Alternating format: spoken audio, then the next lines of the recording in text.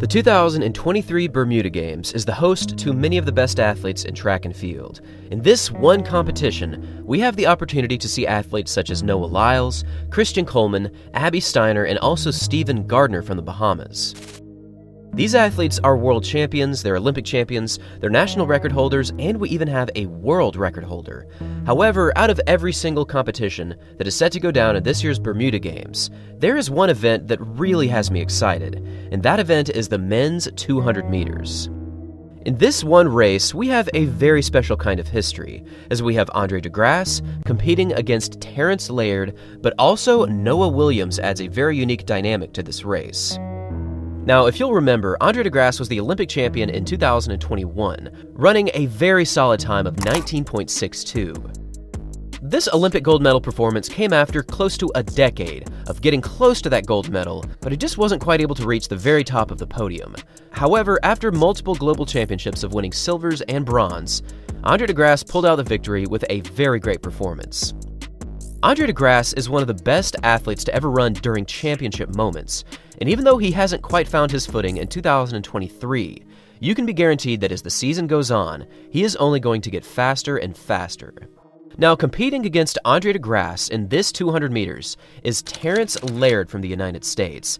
And I gotta say, seeing Terrance Laird return to the 200 meters is a very, very exciting prospect.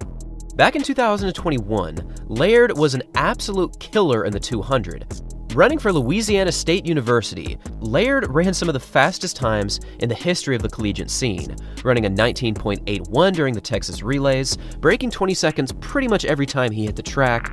And then against Joseph Fahnbulleh, he had one of the closest finishes in the NCAA finals, falling just short of what would have been a tremendous 100 and 200 meter double, as he had just won the 100 meters just a few hours before this 200. However, on that day, he had to settle for silver against Joseph Fahnbulleh delay.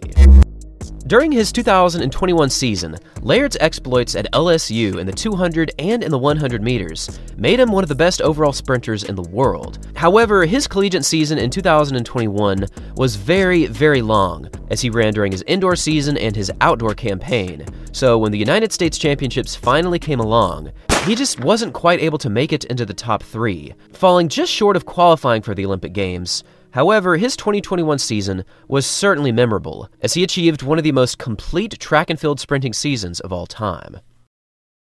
For the past two years, Terrance Laird has struggled with endless injury and racing difficulties. However, finally, we have seen him return to the track in 2023, running multiple 60 meter dashes indoors, and he also competed in this year's Adidas Atlanta Grand Prix, running in the 100 meters and showcasing solid speed against a very talented field.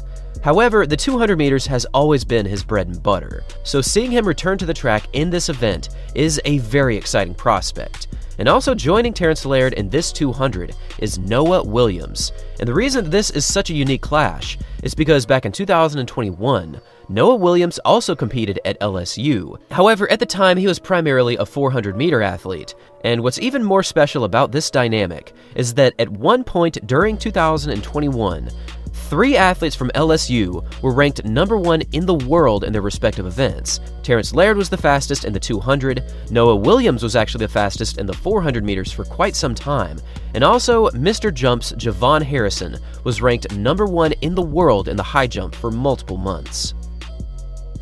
Seeing these two return to the track at the same time is very exciting, and I certainly have high hopes for this 200 meter race. And also competing against these three is Elijah Morrow, Emmanuel Matadi, Kendall Williams, and Joseph Amoah. And with such a quality field clashing in just a few days, I am very excited about the prospect of them attacking the 20 second barrier, and also I'm excited to see just how fast they'll run on this day. Honestly, if Terrance Laird has his classic sprinting strength that he showcased to endless success in 2021, I think he might be the one to win this race. But we certainly have a very talented field against him. Emmanuel Matadi is also looking very strong. And again, Andre De Grasse always knows how to put a season together, so definitely keep your eyes on him. And now I want to hear from all of you. Who do you think is going to win this 200? Do you think Terrance Laird is going to show up for this 200 meters and throw down something very impressive? Or do you have an athlete such as Noah Williams or Elijah Morrow potentially pulling out this victory? Leave your thoughts in the comments section down below. Thanks for watching, everyone. And as always, until next time.